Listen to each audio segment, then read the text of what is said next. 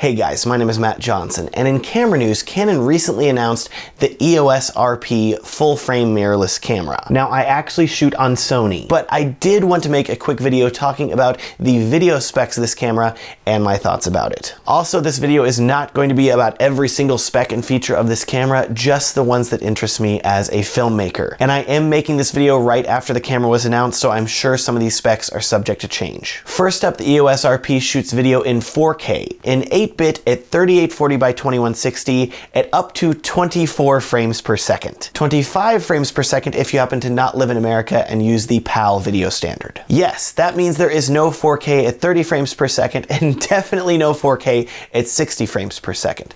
And while a lot of filmmakers, myself included, prefer to shoot at 24 frames per second because it is more cinematic, one of the main concerns about this camera is that Canon is pushing this sensor to its absolute limit to even make it capable capable of recording in 4K at 24 frames per second. And this means that this sensor is most likely going to have a lot of rolling shutter whenever you are panning the camera. Some early video reviews are out about this camera and they are indicating that there is a lot of rolling shutter. The 4K video on this camera is also going to be cropped, and depending on which article you read or review that you watch, that crop is going to be anywhere from a 1.6 times crop to a 1.8 times crop either slightly better or the same as the Canon EOS R that came out last year. The RP is capable of recording in 1080p HD at up to 60 frames per second though.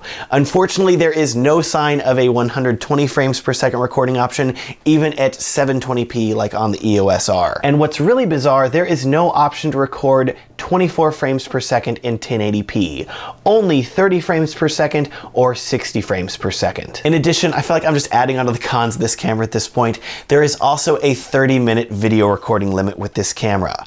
I wish that Canon went the direction that Panasonic went with all their cameras and now Sony with the new a6400 where they are doing away with the 30 minute recording limit, but that does not appear to be the case with the RP. I really wished we'd already reached the bottom when talking about this camera, but now we need to talk about the worst feature of the EOS RP the autofocus. And I hear you, Matt. You're saying, Matt, it's Canon. Canon has the dual pixel autofocus. It's amazing. How dare you slander the name of dual pixel autofocus? Well, unfortunately, whenever you are recording in 4K, dual pixel autofocus is not available. You are limited to a contrast-based autofocus. To be clear, much like the Canon M50, you still have dual pixel autofocus whenever you're recording in 1080p with this camera. But if you want to record in 4K, not possible. And that's a major bummer because I feel like 4K vloggers would absolutely love this camera. It has a flip around screen. It has a mic jack. It is basically built for vlogging if only it had good autofocus, something that vloggers really need. I actually have in my notes that I made while preparing for this video, say now it's time for some sad news. but there's already been a lot of that, so here's some more. Unfortunately, there is no IBIS, no in-body image stabilization built into this camera, or really any of Canon's cameras for that matter. In other sad news, the RP does not use the same LPE6 battery that's used in the EOS R or the 5D Mark IV. Instead, it is using the much smaller LPE17 battery that's used in Canon's Rebel series of DSLR cameras. I'm thinking this may be a size thing, and Canon is presenting this camera as an upgrade for people coming from a Rebel, so it kind of makes sense, but considering there are so many full-frame filmmakers out there that already have a ton of LPE6 batteries, I do wish this camera did support that battery. This smaller battery does also make me worried about battery life, especially if you're recording in 4K. Next up, let's talk about ISO and low light performance. Much like the EOS R, the RP also has a maximum ISO of 102,400. But unlike the EOS R, it has a smaller megapixel sensor, 26 instead of 30 megapixels. So my hope is that the low light performance will be slightly improved over the EOS R. What about Canon log, Matt? C-Log, the picture profile on the EOS R, the 5D Mark IV, the C100, C300, etc., etc., that lets you shoot in a flatter picture profile for easier color grading. What if I want to shoot in that picture profile on the EOS RP? Well, that may be one of the saddest, but also one of the funniest things about this camera, because several days ago there was a leaked PDF that came out before this camera was announced, and on it was a massive spreadsheet of all of the specs and features of this camera. And there was a line that said Canon log, and next to it, it said no. not some flowery description like, oh, unfortunately not possible, not coming in a future firmware update like Panasonic with the S1 and S1R. No, just no, not available. Sorry. Too bad. Buy an EOS R if you want C-Log. There is one bright spot about this camera announcement that actually did make me really happy though.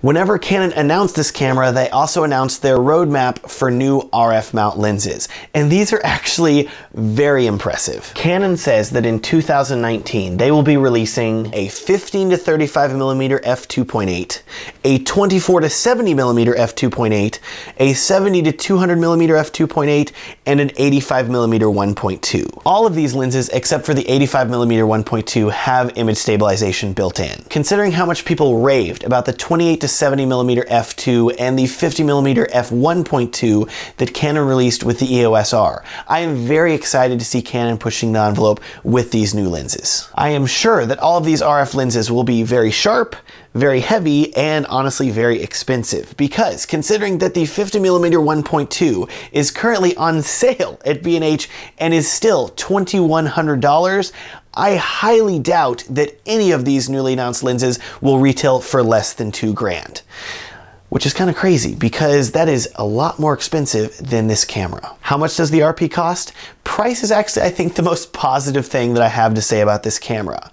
This camera is going to start at $1,299, which considering that it's a full frame camera, that seems quite reasonable. It even comes with a free EF to R mount lens adapter, which I think is really great for people that already have a ton of EF lenses that have been considering switching over to mirrorless. The EOS RP will be released on February 27th and pre-orders are open now, but I kind of doubt that you're gonna wanna pre-order it after I just told you all of the video features and I wasn't super kind about it. So here are my overall thoughts on this camera. Much like how Canon took the 5D Mark IV, added 4K and some extra autofocus points and made the EOS R, I feel like Canon has taken the 6D Mark II, added 4K and some autofocus points and made the EOS RP. This camera costs $1,000 less than the EOS R, but with that price drop, you're giving up a lot from a video feature standpoint.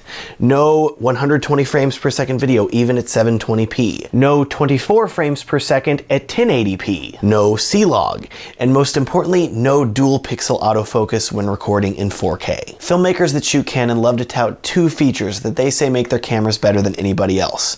The first is gorgeous colors and skin tones straight out of camera.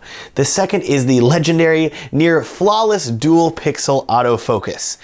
With the EOS RP though, you're giving up half of that if you're shooting in 4K. So will I be buying one? I don't think so. If I wanted to buy a camera that was capable of recording in 4K at up to 24 frames per second with approximately an APS-C sized crop, I would go back to early 2016 and purchase a Sony a6300 or an a6500 or an a6400 or honestly a Fuji X-T3, which has an APS-C size crop, but is capable of recording 4K at 60 frames per second in 10-bit. My view on Canon is this. While basically all other camera manufacturers are trying to cram as many video specs and capabilities and features into their cheaper cameras as they possibly can, Canon has proven time and time again that they really have no interest in being competitive in this area. And that is honestly frustrating. So in conclusion, I guess what I'm saying with this video about the EOS RP is go buy a Fuji X-T3.